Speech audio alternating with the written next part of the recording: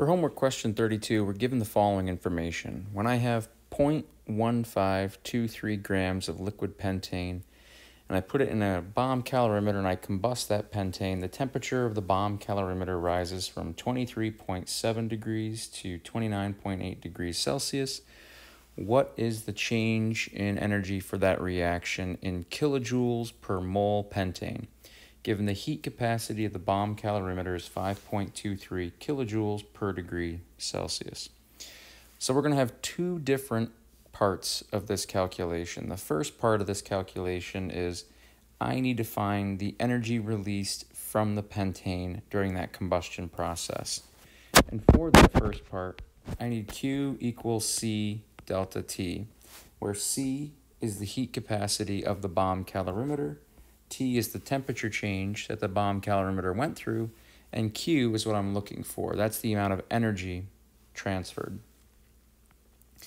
So Q is my unknown. My heat capacity for the calorimeter is 5.23 kilojoules per degree Celsius. And my temperature change, I would get my temperature change right here. So I go from 23 degrees to 29 degrees, so that's a change of 6.1 degrees Celsius. So the Q of the calorimeter, right, the calorimeter absorbs this energy, is 31.903 kilojoules.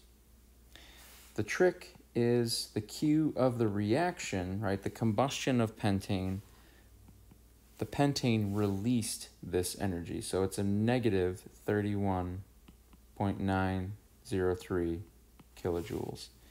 So because the calorimeter absorbed this energy and went up in temperature, it's because the reaction lost an equal amount of energy.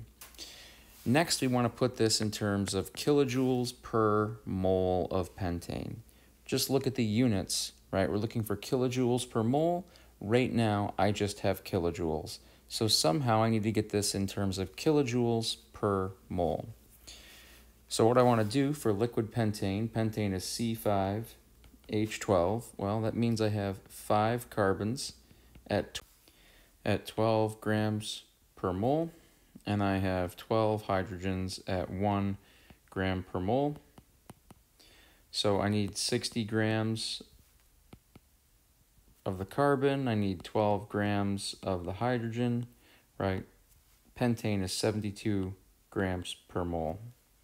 So I have 0.1523 grams of pentane, and I need to have 72 grams for one mole of pentane. So I'm going to divide that by 72 to get 0.1523 divided by 72 approximately 0.002115 moles of pentane.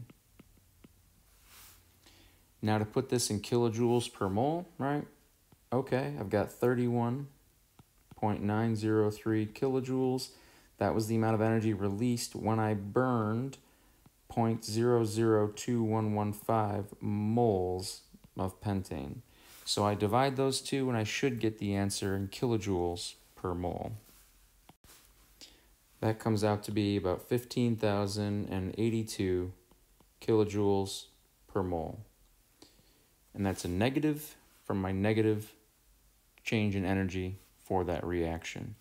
For my significant figures, I've got four significant figures here three here, and three here. So I report this to three significant figures. I would say negative 1.51 e to the 1, 2, 3, 4 kilojoules per mole.